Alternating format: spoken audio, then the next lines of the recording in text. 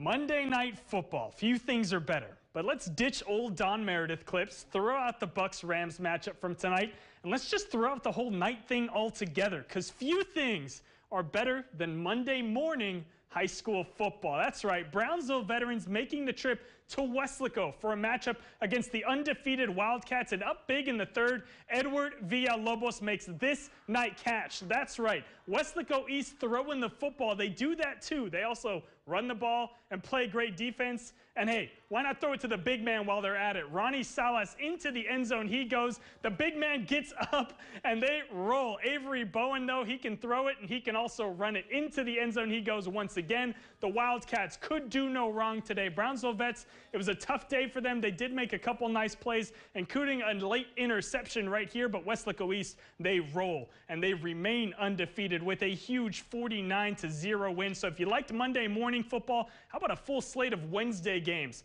That's going to be quite a way to kick off your holiday, especially when the Snakeskin Classic serves as your nightcap. Pioneer and Sharyland will make the headlines Wednesday night, but plenty to look forward to in the week ahead of high school football.